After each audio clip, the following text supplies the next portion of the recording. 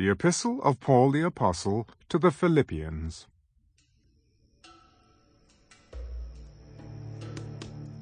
Greetings from Paul and Timothy, bondservants of Jesus Christ, to all the saints in Christ Jesus who are in Philippi, with the bishops and deacons. Grace to you and peace from God our Father and the Lord Jesus Christ. I thank my God upon every remembrance of you, always in every prayer of mine making request for you all with joy for your fellowship in the gospel from the first day until now, being confident of this very thing, that he who has begun a good work in you will complete it until the day of Jesus Christ, just as it is right for me to think this of you all, because I have you in my heart, inasmuch as both in my chains and in the defense and confirmation of the gospel, you all are partakers with me of grace. For God is my witness, how greatly I long for you all with the affection of Jesus Christ. And this I pray, that your love may abound still more and more in knowledge and all discernment, that you may approve the things that are excellent, that you may be sincere and without offense till the day of Christ, being filled with the fruits of righteousness which are by Jesus Christ to the glory and praise of God.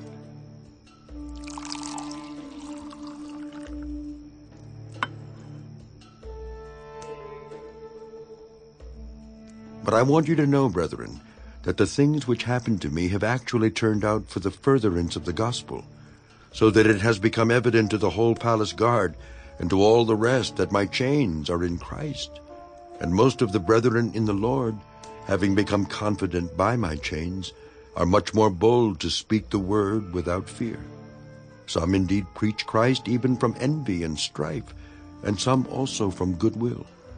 The former preach Christ from selfish ambition, not sincerely, supposing to add affliction to my chains, but the latter out of love, knowing that I am appointed for the defense of the gospel. What then? Only that in every way, whether in pretense or in truth, Christ is preached. And in this I rejoice, yes, and will rejoice. For I know that this will turn out for my deliverance through your prayer and the supply of the Spirit of Jesus Christ, according to my earnest expectation and hope that in nothing I shall be ashamed.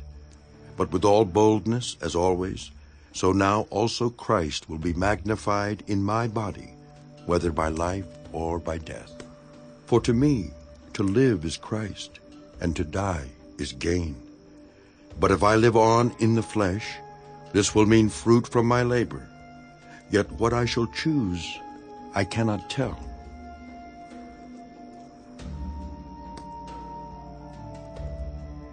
For I am hard pressed between the two, having a desire to depart and be with Christ, which is far better.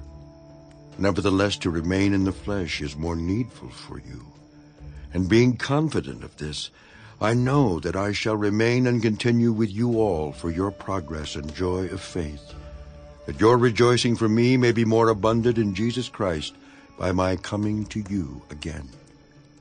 Only let your conduct be worthy of the gospel of Christ, so that whether I come and see you or am absent, I may hear of your affairs, that you stand fast in one spirit, with one mind, striving together for the faith of the gospel and not in any way terrified by your adversaries, which is to them a proof of perdition, but to you of salvation, and that from God. For to you it has been granted on behalf of Christ, not only to believe in him, but also to suffer for his sake, having the same conflict which you saw in me, and now hear is in me.